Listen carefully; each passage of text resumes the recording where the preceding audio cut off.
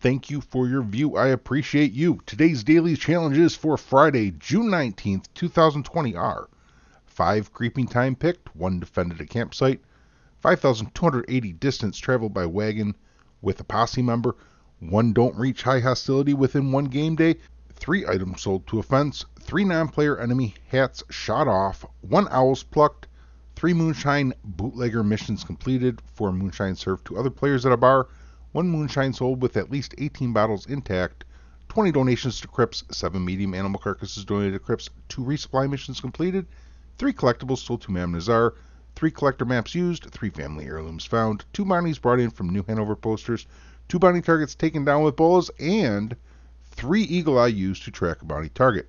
You can see today Madam Nazar is located by the burnt town south of Valentine on the west end of New Hanover. And we have a new bot in Discord as of today, which gives locations for just about anything you need in Red Dead Redemption. Not only can you get locations there, but you can also posse up with somebody in order to get your distance traveled by wagon with a posse member.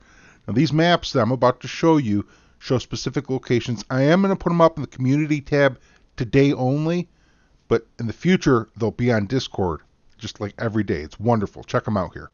First, we have Creeping Thyme. You can see it's located just about all over the entire map except for up in the north end of Ambarino.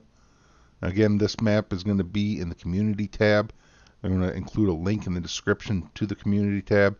But go to Discord and you can type exclamation point find and whatever you're looking for, and it will give you a map. I showed you our locations a moment ago. They're the defend the campsite locations.